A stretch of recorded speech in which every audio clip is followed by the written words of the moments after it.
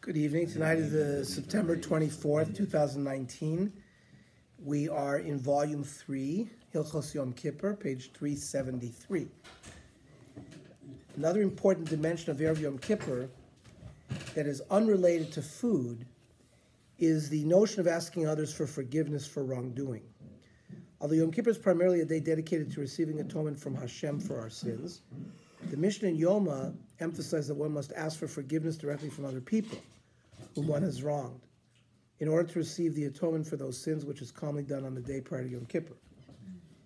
Says the Mishnah in Yoma, Avera shebein adam lechavero, sins between man and man, stealing, insulting, saying lashon hara, injuring them.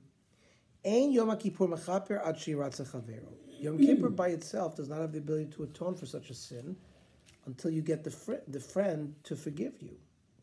At Zu Darsh Rabbi ben Azariah, it says in the Parsha in in Em, in uh, Achrei Mos that we laid on Yom Kippur, which refers to Yom Kippur, Mikol Chatosechem Lifnei Hashem Titaru, that from for all, from all of your sins standing in front of Hashem, you shall purify yourself.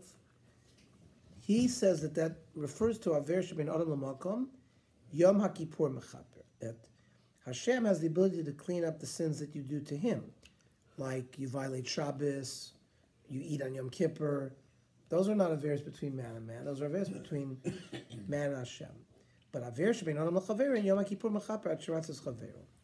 So if one owes money to another as a result of injuring him, the Mishnah Gemara Bava Kama state that one must both re, you have to repay him as well as ask for forgiveness in order to receive atonement.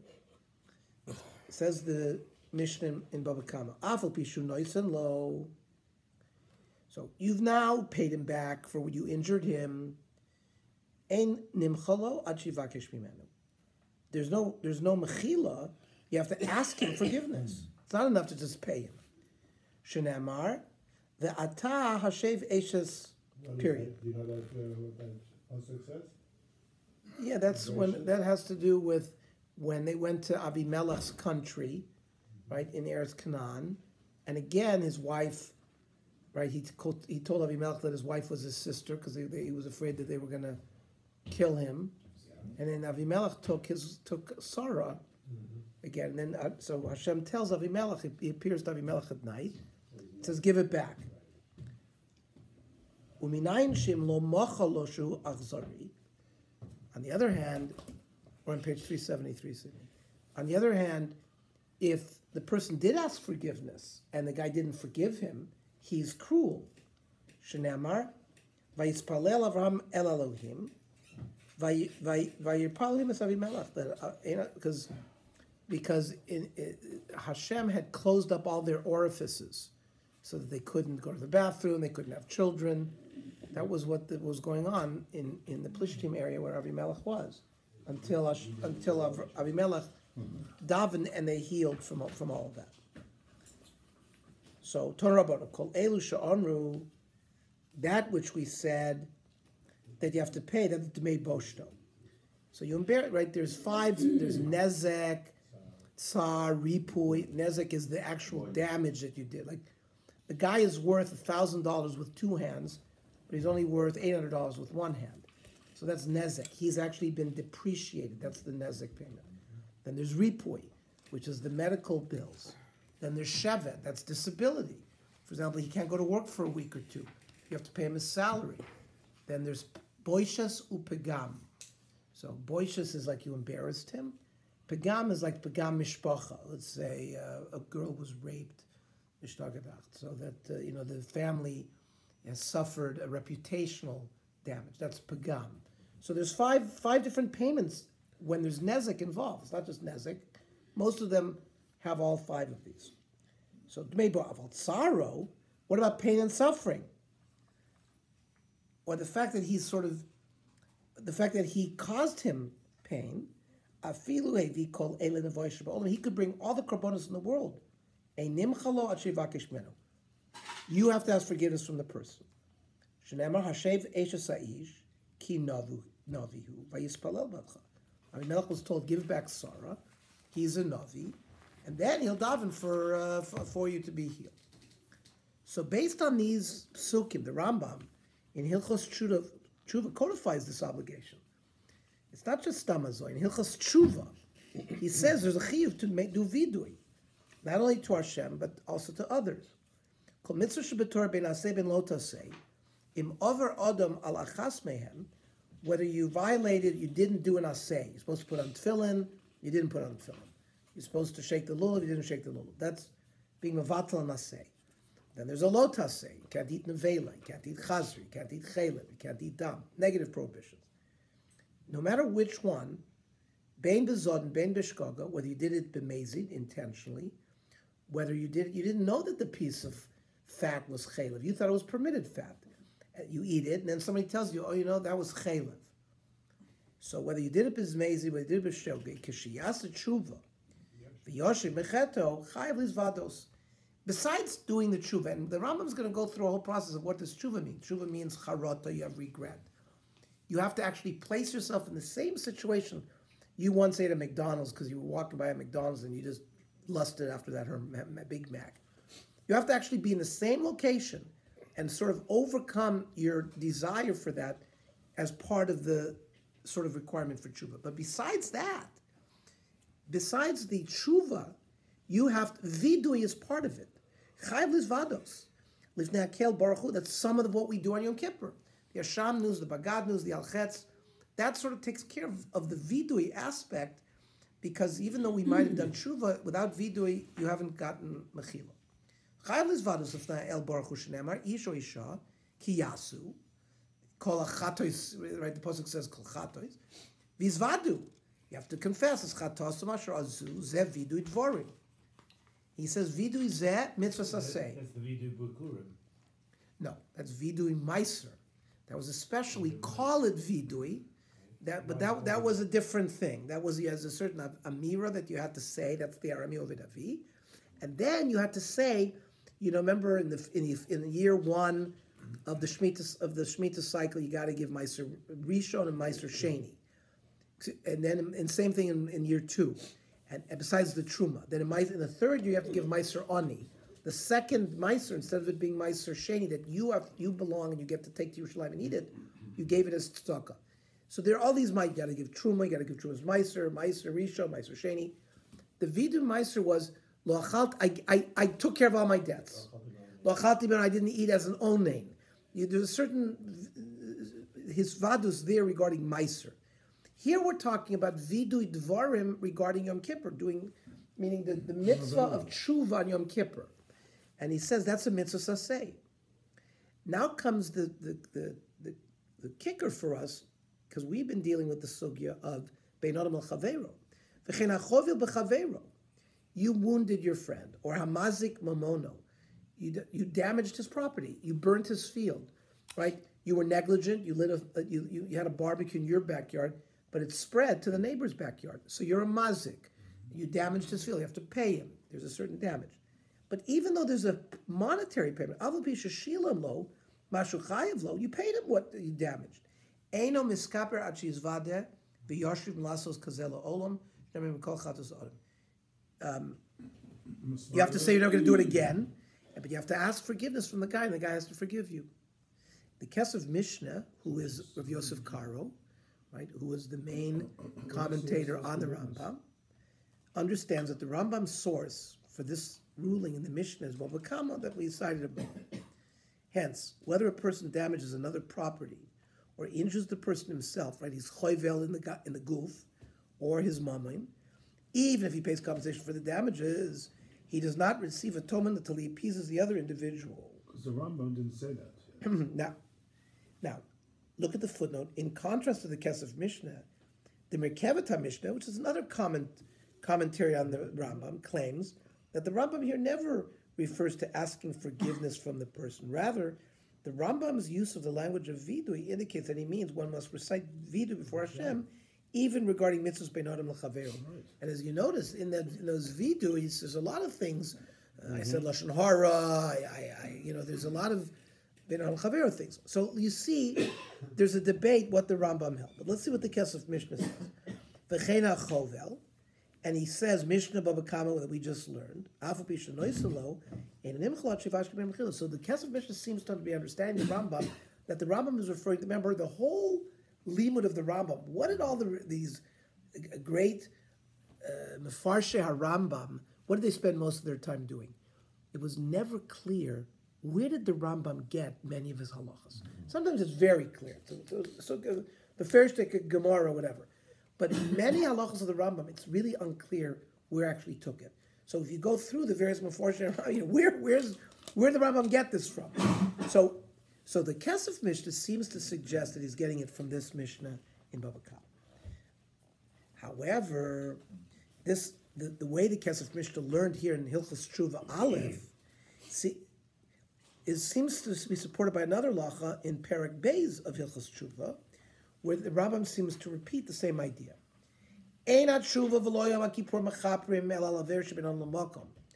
The power of Yom Kippur, where we always talk about itzumo shel Yom, right? There's the, that just going through Yom Kippur itself, without even you doing anything, you have certain kapor. Some things you will not, but the, the, the, the certain uh, power. That's the itzuma shel All of those things are only, says the Rambam. If just if you curse somebody, you know, to yourself, you know, within yourself, in other words, not outwardly in front of the person or something, but you really you, in your mind you speak bad about someone. Or In you your think mind, well, about- here or So is love is that kedibur that's is between, Here is love kedibur dami. that's between you, you and Hashem basically in that case. Why? You didn't do anything to Hashem. No, but no, Here you're or- thinking bad about somebody.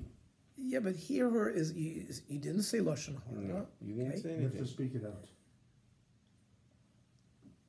Mm-hmm. It's not people. There, that's a not- might be problem in the machshava and the different. kavan of a It's a problem in your in your midos. in midos. So then that would be between. You still haven't harmed your friend with that. No, no, no, you didn't. But I say, does it affect on the mokum? In other words, is that something that? Yeah, because lotisnas achicha bilvavecha. Yeah. Okay. That's what I'm saying. So So, it is the the mokum. Yeah, but the question is, are you required to ask forgiveness for that? You know, from a person. You know, I was thinking. Remember, we had the right. Who was there, Sydney? You remember the the shir we had two weeks ago from that uh, guest rabbi, who talked about that whole thing about should you, if you said lashon hara about somebody, but you, he had never heard about it, should you call him up on the phone and say, you know, I said something. Remember, there was the whole debate where you should not. c- Were you there that week? Yes. Right, where, you, where the, certainly the Mishnah, Bru- the Chofetz Chaim said you should you sh, you should call him, and then everyone argued with him. Yeah.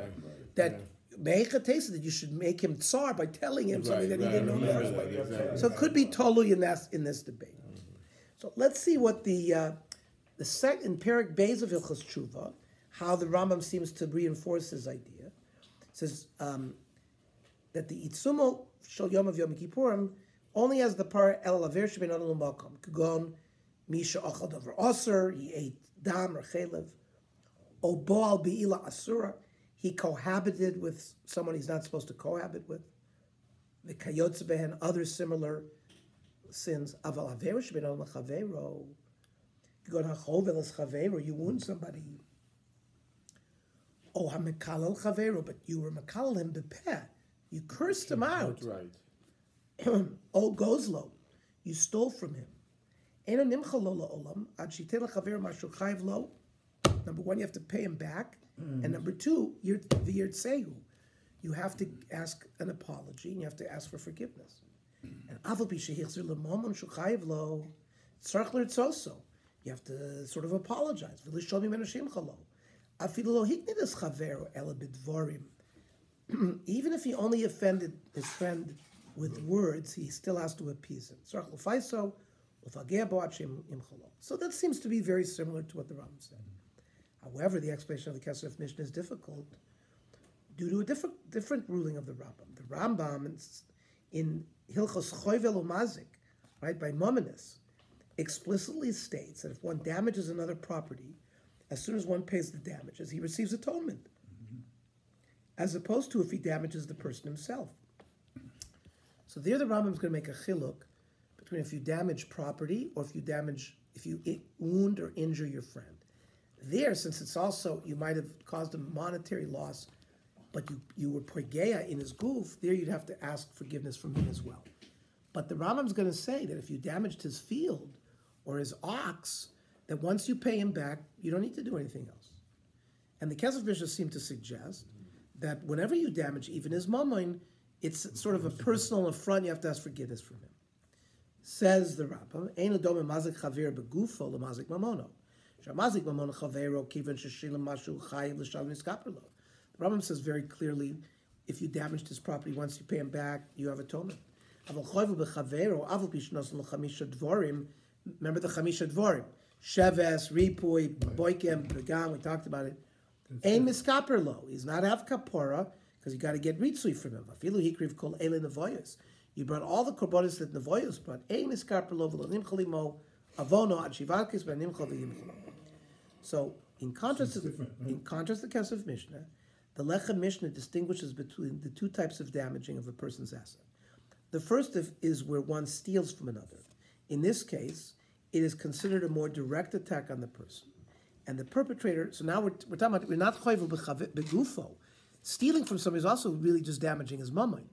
But the, the, the, the Lechem Mishnah is saying that that is similar and that you would require personal forgiveness from if you stole from him. That's a more sort of a direct, personal affront. However, we only damaged another's property, didn't steal from him. You burnt his field, you, you damaged his ox. He's exempt as soon as he pays compensation for the damage. Let's see the Lechem Mishnah inside. That's there by in in uh, the Mominus. Shamazik Momin Chavero Af Agav Bilchos Tshuva, and the Lechem Mishnah itself points out this discrepancy, the discrepancy that we now are seeing between the sheet of the Rambam in Tshuva versus here. Aval Pi Gabed Bilchos Tshuva Perik Beis Kos of Rabbeinu. Rabbeinu refers to the Rambam. Da Goizeles Chavero, Enam Iskaperlo. That if you steal from him, Enam Iskaperlo Elim Yiratzela Nigzal, you have to ask his forgiveness v'fais or so. Afal Pishay Shivlogza, even though you already returned what you stole. Mm-hmm. Yay, so so which is lachora a kasha because in Choyvel Mazik it seemed to say that if you just damage his property, you don't have to ask him. So this is where Lechem Mishnah is making tzvei dinim.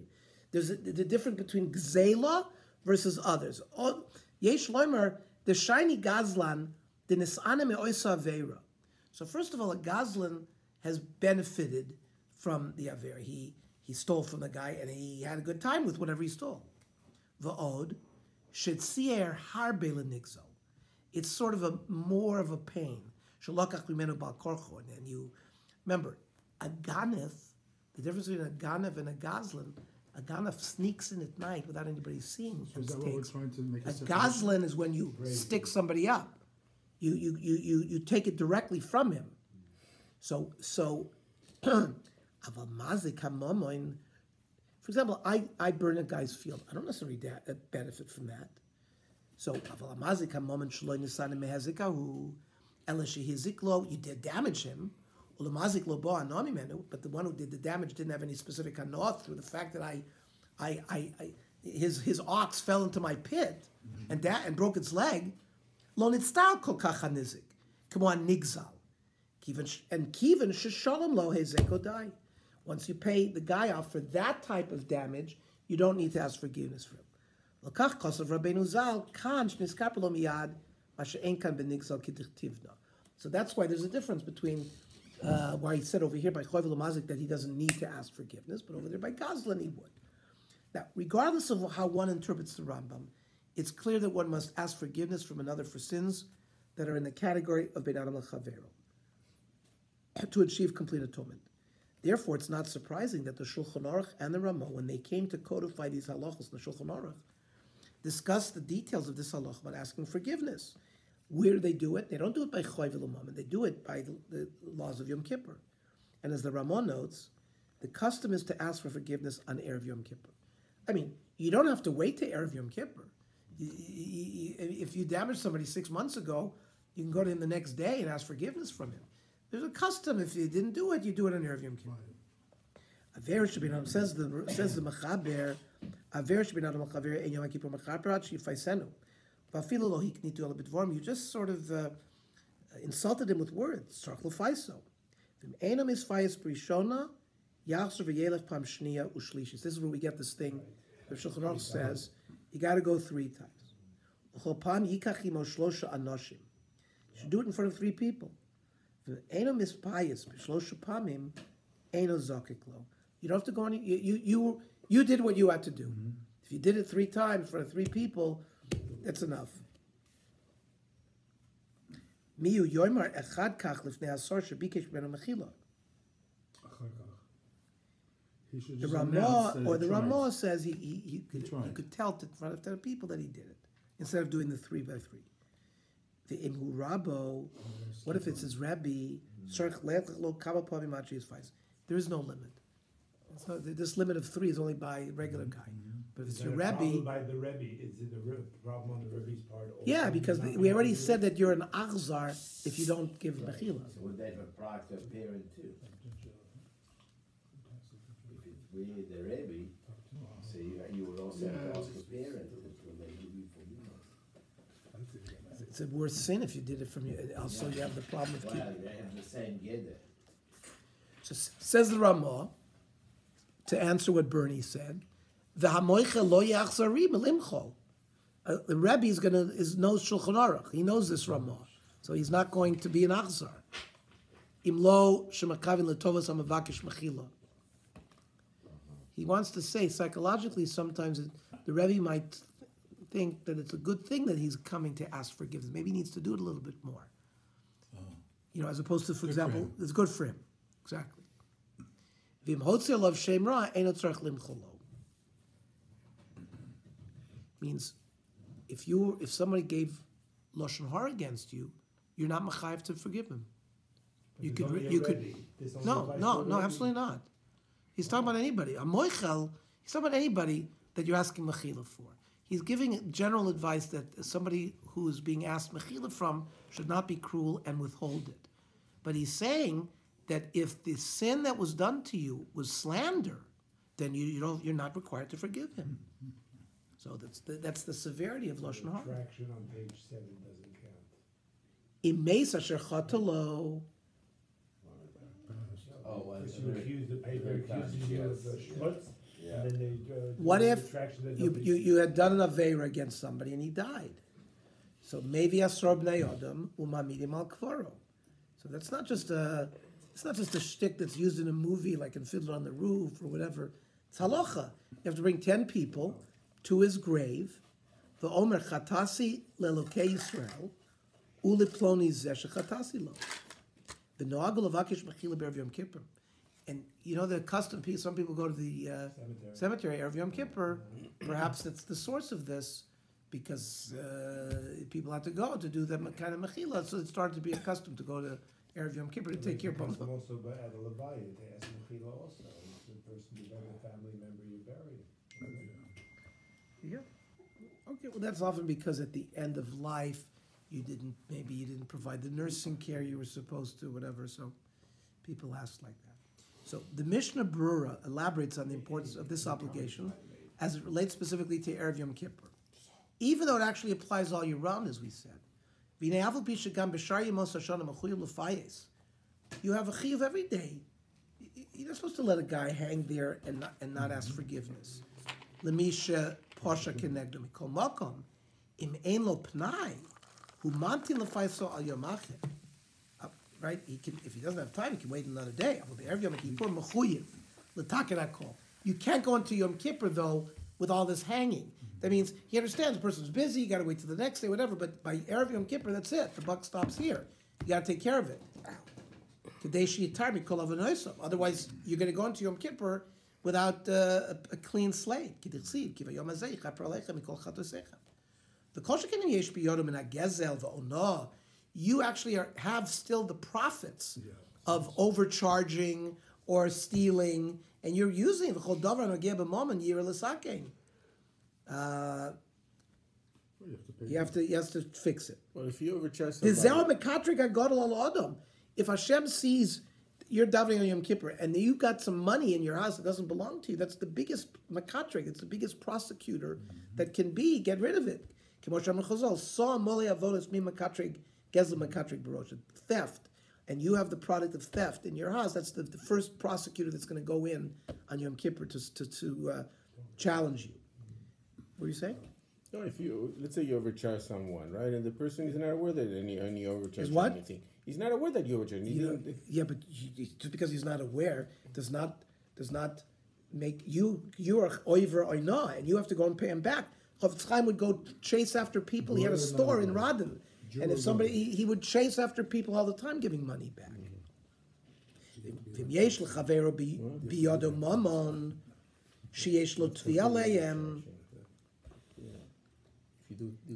And let's say a person has a claim against somebody, Yodienu. And you have to let him know. Even the guy may not know about it. But kolponim yisadar lifnei harav u'moyret tzedek ha'inyan b'shlemus. You should lay it out in front of a bezdin or a rav.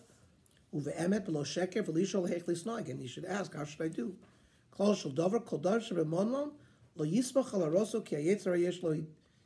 He says, when it comes to money, the yetzer you'll always have ways to justify why you're keeping the money.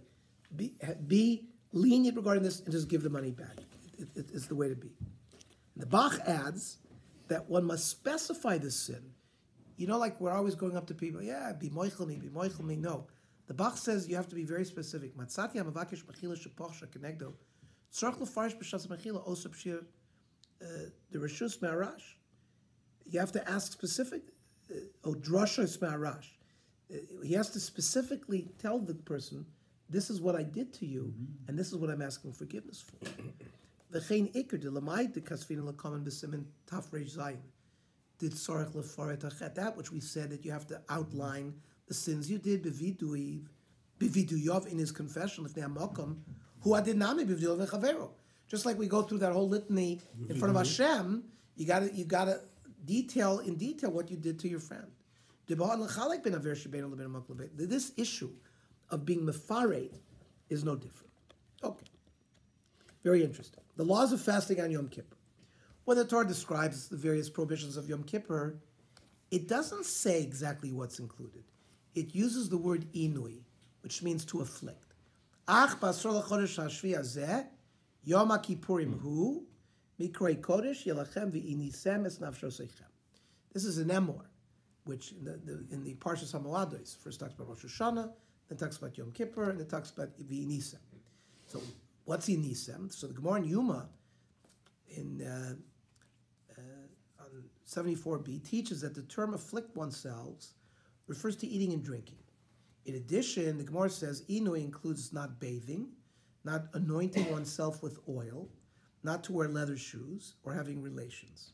The Sefer Chinuch explains why is fasting and affliction necessary on a day designated for receiving atonement. So, as usual, the Sefer Chinuch starts off by saying Mishor mitzvah. What is at the root of this mitzvah?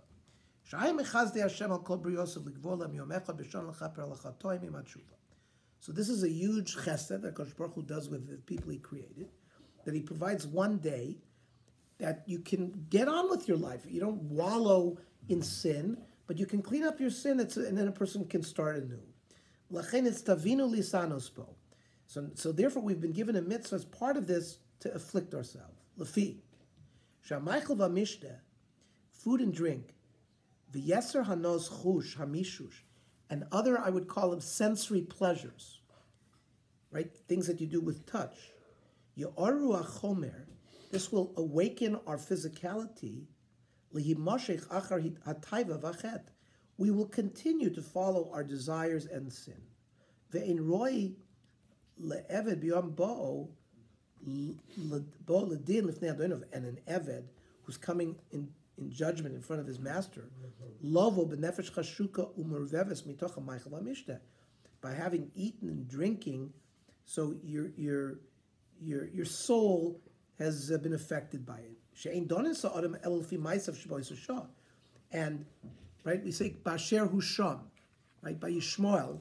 Why did why did why did Hashem listen to Yishmael there? Because at that time he was innocent, he was crying. Hashem listened to him, and it says Kash Basher Husham, and we learn that on the first day of Rosh Hashanah. Not a, second day we learn the Akedah. What's the Basher Husham there? To show be, uh, you're judged the way you are. So Rosh Hashanah, you're in a kittel or you're davening, and you, so you have the opportunity to to to, to have, be justified in din because Hashem will will judge you the way you are. And if you're not eating and drinking that day, your, your soul will be more purified.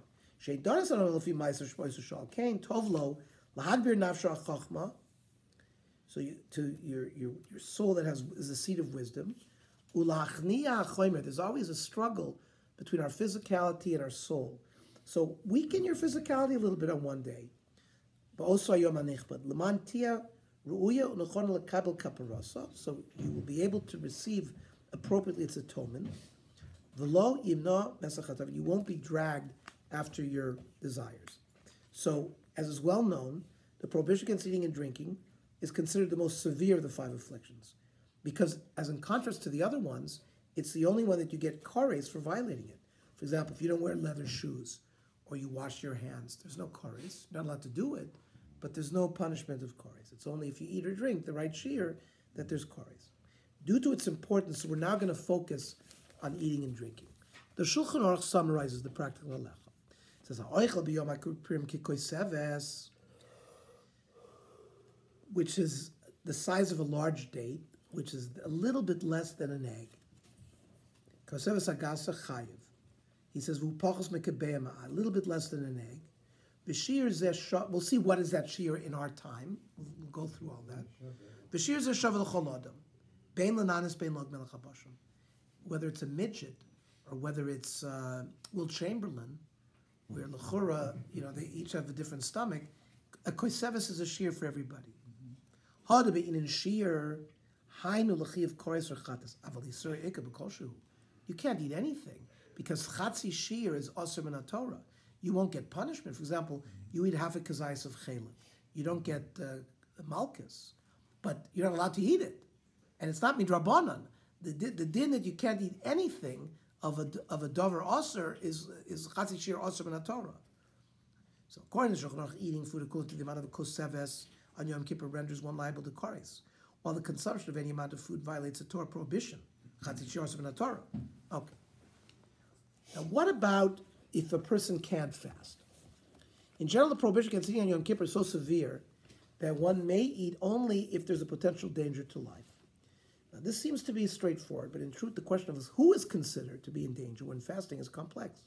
And there's significant discussion among the poskim regarding this issue. And we were going to address three different cases of individuals who are potentially in this category. What about pregnant or nursing women? So, common issue that arises in Yom Kippur is how pregnant and nursing women should observe Yom Kippur. On one hand, they certainly must take into consideration the fact that they are responsible for the well-being of another life, which is the fetus. But on the other hand, it seems a bit extreme to say that there's a danger in life. To you know, the, there's always a danger in fasting. So, according to the Gemara in Pesachim, a pregnant or nursing woman must fast normally on Yom Kippur, as well as on Tisha B'av. Right? Dorish Rava and Pesachim, Ubarois, pregnant women, umenikos, nursing mothers, misanos umashlimos bo. They have to fast, they have to finish the fast. Mm-hmm. Kederch misanos mashlimos bo kippurim. This is referring to t- Tisha B'av. And just like by Yom Kippur, that they have to finish the fast and they have to fast, the same thing is by Tisha B'av. Ubein hashmoshes shalo osir. And, and bein as well is osir. So Chazal felt that an otherwise healthy pregnant or nursing woman will not place herself or the baby in danger by fasting on Yom Kippur. However, the Gemara provides certain limitations to this halacha in specific cases that were considered danger. Says the Mishnah, Ubra shehericha, a pregnant woman, all of a sudden she had a desire for pickles and ice cream. Right? We have, the, you know, they, they smell something and they absolutely have to have it. And machilin also, ad sheteshiv nafsha. So you're allowed to feed her that item. Doesn't say what month this is. No? No? Beyond 40 days, certainly. And chola, machil nosal pibakian. Now, a sick person, you wait for an expert. Expert here refers to the doctors. If a doctor determines that the chola has to eat, I get dozens of quest calls right before Yom Kippur because of all the kidney stone patients. They want to know, can they drink? Pachas pachas make a shear, and the rabbis call, etc. Because when you have kidney stones, if you're not drinking fluid, you could form another kidney stone. So, so it's always a big issue. Vim ein sham bikiyin. Now let's say there is no doctor to consult. Machil nos al piatzmo ad sheyomer dai. You ask the person himself. The person, no one knows a person better than himself. And if he feels like he's he's he needs to eat, you can feed him. Now the Gemara explains Torah Rabbanan. Uber sherich b'sar kodesh, o b'sar chazir. She smells some pork, and she's got to have the pork. It was thought that it's life threatening. Toichvin lo kush. Look what they do. First, they put a straw in the juice. Al pia. They just apply a little bit of it on her on her on her lip. So this has to do more with like a mental problem. We're talking about yishu vadas im nisyai shvadaita. If she calms herself down with just having the taste of the the pork juice on her lips, mutav. You don't have to go any further. Vim lav, machilo sorot. You give her the, the gravy. Vim nisyash v'daita mutav. Vim lav, machila to shuman. You give her the you give her the the, the, the shtick pork itself. Shelach davar sha'oimim pikuach nefesh. Chutz ma'avodah zar v'gilui arayis or shvichas damim. And this is an example of pikuach nefesh. How is she gonna Now, we don't really understand. Rashi explains, what do you mean, uber shericha? How uber me riach reach tavshil umisavelo. Somebody, she walks by The the uh, McDonald's and she The smells. embryo smells not it. the pregnant No, the woman, pregnant the woman. embryo. The ba- yeah, The baby, fetus, it says, the fetus The smells. fetus smells it. Okay, How does the the fetus- fetus smell? I mean, what does it know? Uber me riach reach tavshil umisavelo. And doesn't tell you how old the Now, fetus vim eina ocheles shnehen mesukonim. And if the mother doesn't eat it, they're both in danger. So, according to the Gemara and Rashi's And interpretation, the fetus is telling them. a woman who has a severe craving for specific food is considered to be in sufficient danger to warrant allow eating on Yerev Yom Kippur. wants something. I don't know. It seems from Rashi, I'm reading the footnote, that the leniency applies because of the potential danger to the mother. The Rush notes that some Rishonim hold that if there is danger to the fetus alone, the mother would not be permitted to eat. But he disagrees and argues that it is permitted. He also claims that in actuality, there's no situation of danger to the fetus where the mother is not also in danger. It means if the fetus is in danger, the mother's in danger. And points to this comment of Rashi as proof that you see, it's the fetus that's smelling it and wanting it, but the mother has to have it because they're both in danger. Now, the Shulchan Aruch cites the basic halacha about pregnant and nursing women, as mentioned in the Psachim, as well as these leniencies. Says the Shulchan Aruch, "Uberes menikos misanos mashlim yom kippur." So the basic halacha is they have to fast. Now, uber shericha, and then the Ramah adds, "Upaneh mishtanim," she turns white. That means it, you have to see some kind of physical response in the woman, where it suggests it's, huh? It could be turns red too. Okay, I'm saying upanem mishtanim, avu bishlo tzrichani, and if you see her face change, even if she mm-hmm. doesn't say I need it, we have to be concerned about her health. Lo yishun lo ba'ozna shem Yom Kippur. So the first thing you do is you say to her, you know, it's Yom Kippur today. Can you hold on? Now, based on that, just being told that it's Yom Kippur, and she sort of takes hold of herself, in Niskaira Daita, if she's able to sort of calm herself down, the Zikaron Zemutav, the Imlav Machilanosa, Achetisiav Daita. So the case described in the Mishnah Shulchan Aruch of a serious craving is not common nowadays. Do people really go around saying, "Oh, I need to have this, otherwise I'm going to die"? So he understands that. Nevertheless, we see from here that in the case of a specific danger, a pregnant woman would be permitted to eat. This is very relevant, as there are many instances where a doctor may be concerned that a specific complication with regard to the pregnancy may cause danger to the mother or fetus by fasting. Whatever it is, maybe she has a urinary tract infection. Maybe she has placenta previa, which, you know, maybe she has some diagnosis where they understand that lack of nutrition will make things worse or whatever. So Rav Simcha Rabinovich, in which who we've seen many times before in the Piskei Tshuvos, says, and who is a contemporary posek, Afis Banenu, Shenechlashu Hadoros, V'tanis Yom Shalom Yesh Bo Sikun Masuyim Lahapola Ololeda. He says, as the generations have gotten more la- later, we are weaker, and therefore it seems even fasting one day could lead to a miscarriage or to a premature birth. Aval Pichein, Tzrichos Amuboris Latsum. He says it doesn't make a difference. They have to fast.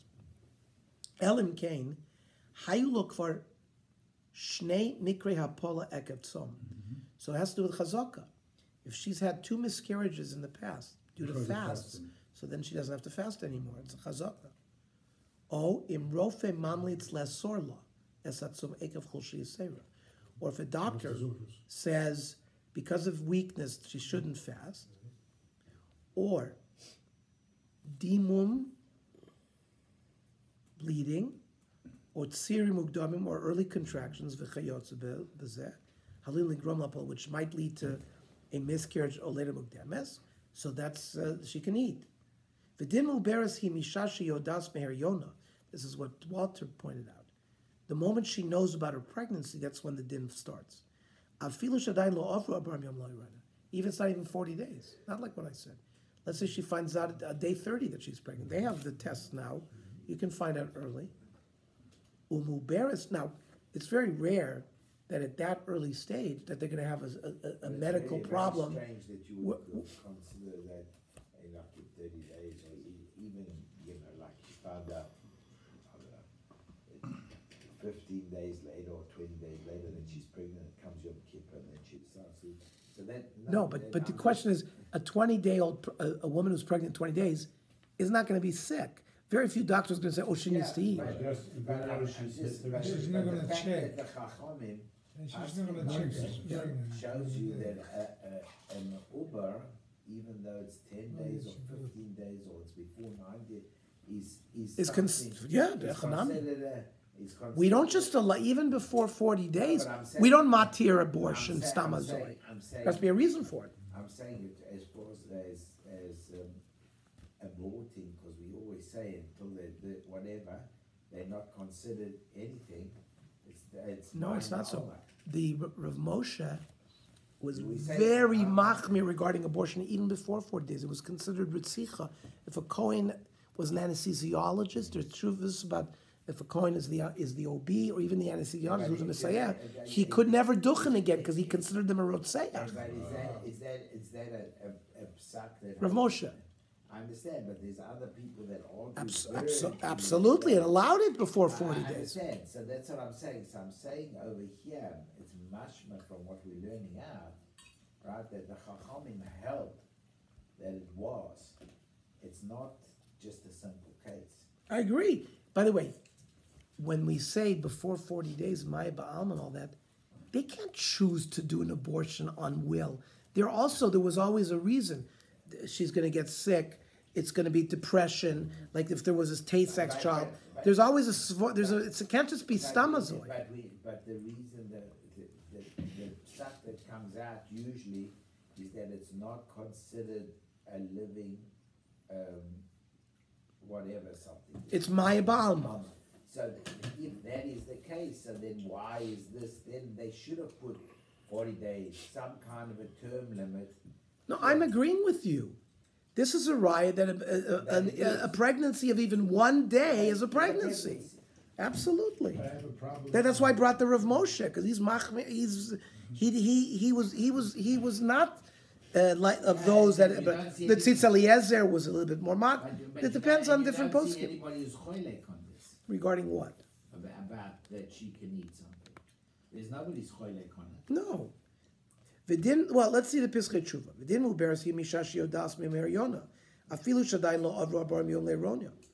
Umu beres she'asru lo lotzo b'yom kippurim tzrich li'isyatzim rofe im dai lo shtia b'shi'urim. So first of all, You have to ask the doctor. when you have to ask the doctor whether maybe it's enough to eat pachas pachas mikashir, or tzricha gam achila b'shir, maybe she has to eat a full shir, mm-hmm. or tzricha lechov lishtos kergol, or maybe she has to eat normally. So the Pischei Tshuva notes. Can I just ask? Yes. I have a bit of a problem with the, the, the Piskei Tshuva saying, Shenech l'shua adoros, that, that we become weaker. And perhaps we become weaker spiritually or religiously, but certainly we're not weaker from a physical point of view, that you have to give into a taifa to eat something just because a woman is pregnant and has the, suddenly. I don't think he says about eat. taiva. He says That's what he's talking about. he says for some reason, for some Sorry. reason, tainis yom shalom yesh bo sikun mesuyum lapolo laledo mukdemes. In our generation, Well, well, it, our it's generation is healthier no, than we- all previous generations based Yeah, on but- Well, we don't know. care We- and health. uh, See- see, I would say like this. I don't I don't gonna do understand. that. He's saying there seems to be an increased risk of premature delivery and miscarriage with fasting.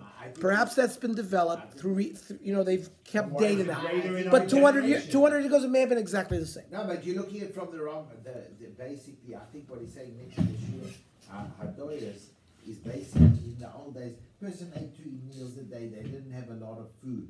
So fasting Was not a big deal. was not a big deal. The reason why it's weaker today is because of plenty that we have. big deals Because we're because pigs. people eat and drink all the time. Way- way too And much. that We is knew the- starve back then. no. No, they weren't nourished as well. No. They probably starved on a normal on a regular basis. They didn't have food Yeah, like we in words, do. it wasn't. it- it- Right, other it could that's be- it could be a saying source. that you are done. I think that's what it's Well, going I to do. understand, Maybe just some because we're eating three people meals, we're dying starvation. I, I tell you, Maybe your time, your, your, your, um, your, true. s- uh, your, um, Your your insulin, yeah, okay. sustainability Yes, is, is less. Because you're eating more and you're more- stimulating more, more the yeah, right. insulin. So the Pischei Tshuva notes that specific cases such as complications in previous pregnancies, bleeding, or other medical conditions would all be valid reasons to consider her as being in potential danger if she would fast. However, all cases should be discussed with the OBGYN as well as a a rabbi to see that in fact there's a need for leniency. Even if a pregnant woman began to fast at some point, feels dizzy or weak, contractions, or any other symptom, she should certainly eat or drink immediately, at least initially less than shiur- shiurim, and perhaps more if necessary. Now, with regarding to nursing women, the idea is that if she's, she's not hydrating herself, she's not going to produce as much milk. And here the sakon is for the child, not for her. Mm-hmm. Right? The issues that arise do not generally affect the mother as seriously if she is healthy, but certainly would affect the baby, as if the mother does not have sufficient milk due to the fast, the baby would go hungry. The Biur Halacha cites the Ba'er Heitev, who cites the Dvar Shmuel, who is lenient in such a case as well. The child's life will be put in danger due to the fast, and there are no other options exist. What does that mean? So the Biur Halacha says, "Uboros menikos misas lahamenika." If the nursing mother yeled chola, if the child is sick, umasukin, the ena rotzelinik in general has a heart problem nursing, ki and for example, let's say they won't take from the bottle, because we're going to see giving them formula is a way not to have this issue. But there's some ch- children who, fortunately, it's not that common, but there are young premature, for example, and other who don't will not feed other from the mother. And vimtisana sakana hu layeled, and therefore, if she would fast and not produce milk, it's a sakana for the child. According to Chazon Ish, the leniency concerning nursing mothers is not one to be applied sparingly. So the Chazon Ish seemed to be very lenient regarding this. Rather, in any case of uncertainty, where the fast may cause the baby to suffer, one may be lenient, which is interesting. Nowadays, but another option exists that was not available in the time of the Chofetz Chaim, who suggested that the baby's nurse from another nursing mother, which certainly would not be done today. Today, a mother can give the baby formula with a bottle if the baby cannot nurse for some reason. Is it permitted for the mother to eat on Yom Kippur if the baby could simply be given formula instead? So the Piskei Tshuva addresses this issue. He says he quotes the Chazon Ish that we just learned, because of Shestam Tinuk Besukun Chalav, that regarding milk, even any child is in some way danger. Because. If there's any kind of doubt that there'll be some damage to the child, me'ayim katsirus, like stomach problems, constipation, or shilshul diarrhea, or chom fever, in the normal way of nourishing the child.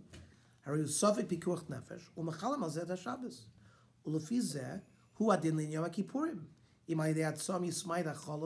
If through the fasting the milk will be depreciated, mm-hmm. o yifsak and even if all of a sudden now the, the child has to switch the normal ways it gets its nourishment, ulishtamis and to now go with formulas, the exchanges.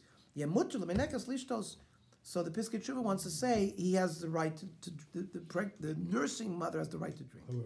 However, lamaisa, yesh כי לאחרונה כיום הם תחליפים שונים, שערכם התנזוזי, התזונתי, that means the nourishment potential, דומה מאוד לכל אביהם, is very similar to mother's milk. they're better formula. ולכן אין להקל, משום חשש ה- הפסקת החל. Therefore we don't have to worry that maybe the, the milk will stop, or צמצום תפ- tfukaso v'isvias atinik, or maybe the child will not have enough, uh, say, he won't be satiated, elik shatinik, rogish v'kaim chashash, shloi akel, or maybe he won't digest it Problem shum tachlim chalimo. Now, if you the baby is sensitive with this, or he might not digest it, so then of course you might have to use mother's milk. V'yesh das kel pidas roifim dai b'shasia kadesh lo yitztamtem tvukas halav. That anyways, doctors know that um, they can drink they don't. They don't have to eat. They're saying that menekes doesn't have to eat food. Drinking fluid is enough to keep the milk flowing. Mm-hmm. And v'im daila b'shiurim, if the doctors think it's enough to give her pachos pachos mekashir, she's a pachos pachos shir, lo tishtei yosu mikach. Uvarim she'osr olechas beis hakneses, im kaim chashash b'glal zeh tavo l'matzav shetzach lishtos. How about this? He says the woman should stay home. Because if she comes to shul and it's a hot day and she's going to get dehydrated, and now all of a sudden she's going to look for a heter to drink, no, stay home. Better stay home and fast than put yourself into that experience. Now, Man, sub, up until now, we talked about a pregnant woman, and we talked about a nursing woman. But why would they? even What, have to tell what about a yoledes? What, but they wouldn't even have to tell you that. Although, as we have seen, one who's pregnant must fast normally, as long as there's no complications. All agree that a woman who's a yoledes, a woman who has just given birth, is permitted to eat as she is considered to be in danger, as is brought by the Shulchan Aruch. Now, how much time? What? How many? uh, What? How long is she considered a yoledes? So yoledes toch shlosha yomim lo klal. So within the first three days. Now we're going to see what is the three days. Is it me'es le'es, 72 hours from when she gave birth? Or is it a chumrah? So, for example, you know, she gave birth on a Wednesday, so, uh, you know, at uh, 5 o'clock in the afternoon, that's already her first day. Then you have Thursday and Friday, so if, if Yom Kippur came, she's on Shabbos, she already has to fast. Or, let's say, let's say it was, let's say actually she gave birth 6 o'clock, 7 p.m. Wednesday when it's like, when it's still, we haven't changed the clock, or it's still early. So Yom Kippur is going to start uh, Friday night, so it's going to be set. Yom Kippur will fall within the 72 hours this way. So technically, there would be a difference whether you go me'es le'es or whether you count it for three days. Because if Yom Kippur starts within her 72 hours, she certainly would not have to start fasting. Now we're going to see. With this halacha, even if she can start eating, once the 72 hours go, she has to start fasting. It's not like once you have a heter, you have a heter the whole day. We'll see that inside. That's a very interesting halacha. So, a woman is permitted to eat if she is considered in danger. The Shulchan Aruch discusses the extent. Yoledes toch shlosha yomim lo zisane klal. Now, mishlosha ad shiva, from three to seven days, im amrat tzrichani machil nosa. So then we, we ask her, do you feel like you need to eat? If she says yes, we feed her. Here, you notice we don't ask a doctor, we ask her. Mikan ve'elech, harei kachol. So after seven days, she falls into everybody else's category. Yomim elu, ein. We don't count 72 hours from the birth. Kigonim yolda b'shiva b'tishri be'erev, ein machil osa b'yom kippurim, we don't allow her to eat Yom Kippur imlo amat tzrichani unless she said, because now she's already beyond the third day, she would have to say tzrichani because she's not within the be'erev. That means I gave you the example where sometimes it'll, if, if you just count that partial day as one day, because like, uh, par- partial days, other than the uh, partial day is like a full day, right? And then you have th- Thursday and Friday that would be bad for her. Aval bi shalosh shalom lo shlosh yomim ad Yom Kippur be'erev.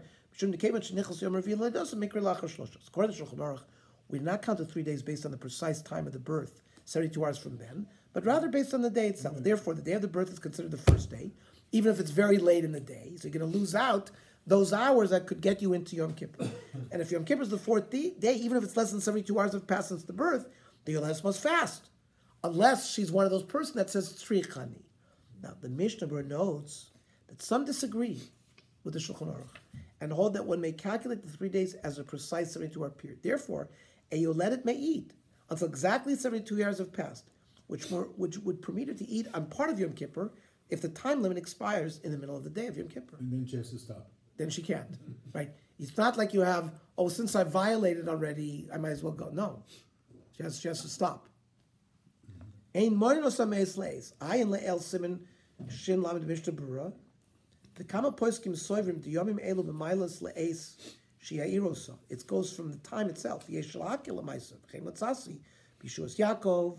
That mekel b'sofik nefashas lachshav hashiva yomim me'es le'es lo yifsid. You haven't lost anything if you if you do me'es le'es. And then he says, Lo sisana cloud. Afilu amra ein tzricha lechol. If you're within th- if you're within the three days, even if she says, I I don't need to eat, machil no so. Army lo achli, you feed her against her will. But not shir. Aval below amra ein tzricha. Now, and and if if if is neutral. if if aval below amra, if she doesn't say I don't want, machil no so kedarka. Ein tzrich lachalik. You can feed her regularly. V'yesh machmirim shekam bezet tzrich lachilo pachos pachos mikashir. So you can see there's a conflict among the poskim, uh, whether you can feed her regularly or pochos pochos mikashir. Now the Piskei Tshuva clarifies that the three-day period begins only after the birth, and notes that the accepted halach is to follow the Mishnah mm-hmm. Berurah, that we calculate the three days based on a 72-hour period in most cases. The da, we're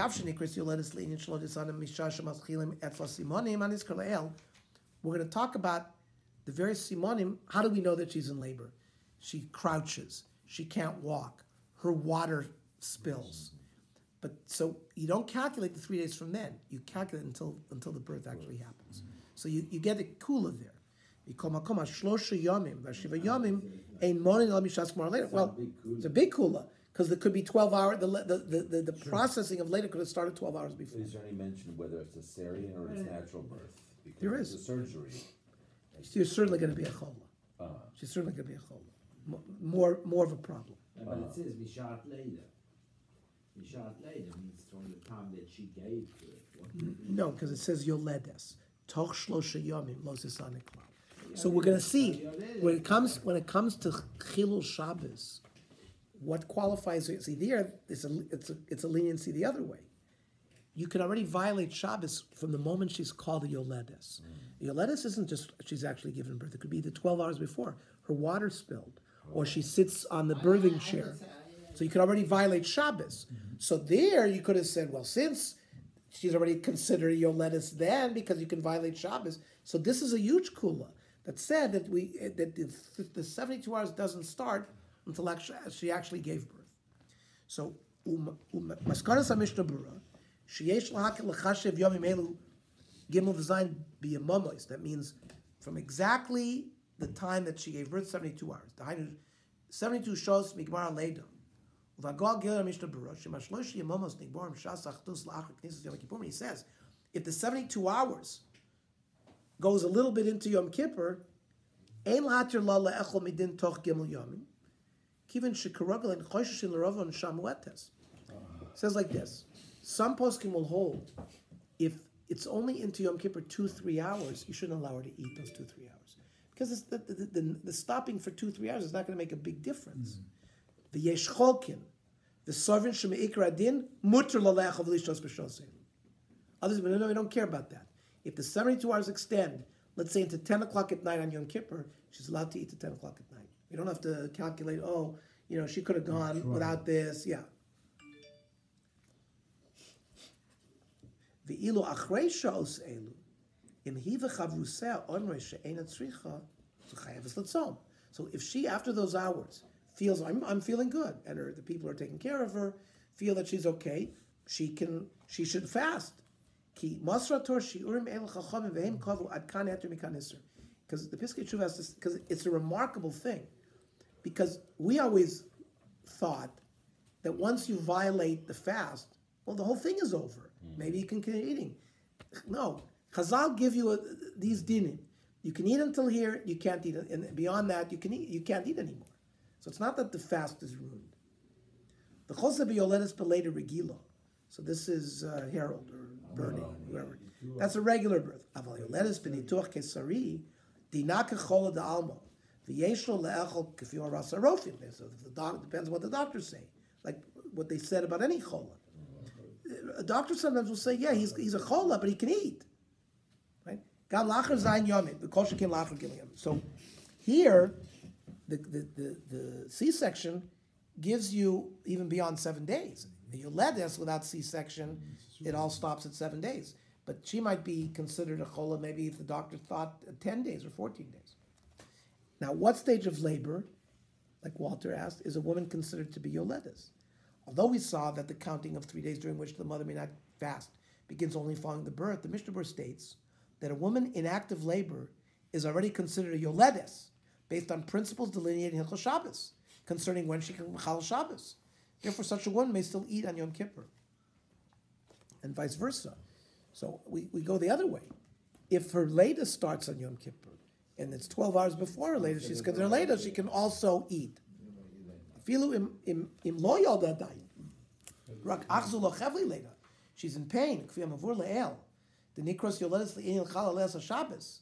V'hu adin de gam yoledes le'inyan zeh shelo tisana. So, it refers to us to Hilchas Shabbos, where the Shulchan Aruch offers three possible ways of assessing when a woman in labor has the status of yoledes. When can you desecrate Shabbos? So it says, Shulchan Aruch, nikros yoledes l'chal ha-Shabbos, mishateshev el ha-mashber. They would sit down on the birthing stool. Oh, mishash adam shoises fiyor, she's bleeding. O mishash chavusea noisoiso bezroisea she'en bakoch lalech. She can't walk, so her friends have to schlep her. Even shenira echad mele. All you need is one of these simonim mechalalim alea es Shabbos. Now, one who is ill, which is sakonis nefashos, and is certainly permitted and obligated to eat. Now, first of all, how do we determine whether he's dangerously ill? According to the Yoma, we evaluate his condition using mumchim, which usually means doctors. If no doctor is available, we trust the person himself to inform us if he feels he needs to eat. Chole, machil nosal pi bekiyin, the main sham bekiyin, machil nosal pi atzmo, ad shiyomar da. Yeah. Okay. Okay. So, Without a meaning. yeah, you can stop.